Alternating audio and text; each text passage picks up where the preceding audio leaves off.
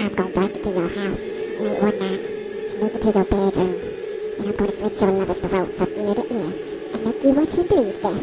Then I'm gonna flip you over, fuck you up the ass, and make you suck my So don't, keep it. I got an eye on you.